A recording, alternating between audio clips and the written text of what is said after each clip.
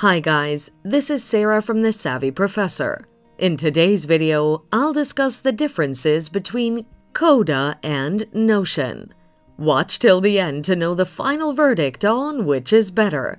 But first, let's start with the differences.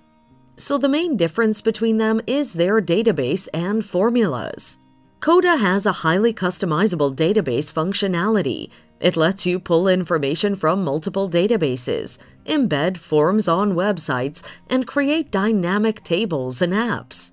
On the other hand, while Notion also supports databases and tables, Coda's had time to make their database more powerful. They provide advanced features like cross-doc actions and more extensive formula language. Therefore, Coda has a more powerful database and formula that enables users to create a collaborative workflow. Usability Notion has a minimalist design that even someone who's not tech savvy can figure out. In contrast, Coda requires a learning curve that some users might find overwhelming. However, once you get a grasp of it, you can take full advantage of its powerful capabilities. Therefore, Notion's intuitive design makes it user-friendly. Notion has 18 categories of templates in its gallery. They highlight templates from companies like Buffer, and Notion Community also creates templates that make them available regularly.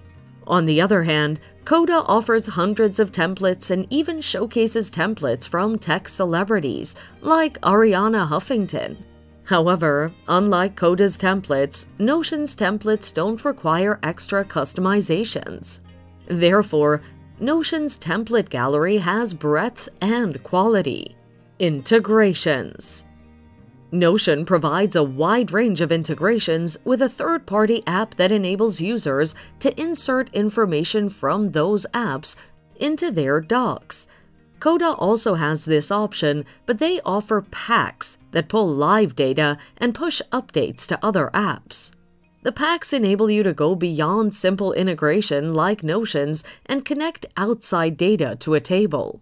Coda packs make it a potent app builder. But do they have any similarities? Yes, they enable real-time collaboration, where multiple users can work on the same document simultaneously. Also, they both allow users to manage their projects and are accessible offline. To sum up, which is better, Coda or Notion?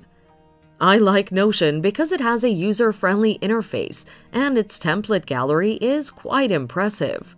On the other hand, I like Coda's powerful database and how it makes the management of projects easy.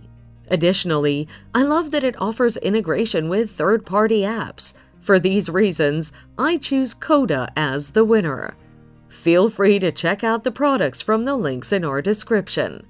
Thanks for watching. Till next time.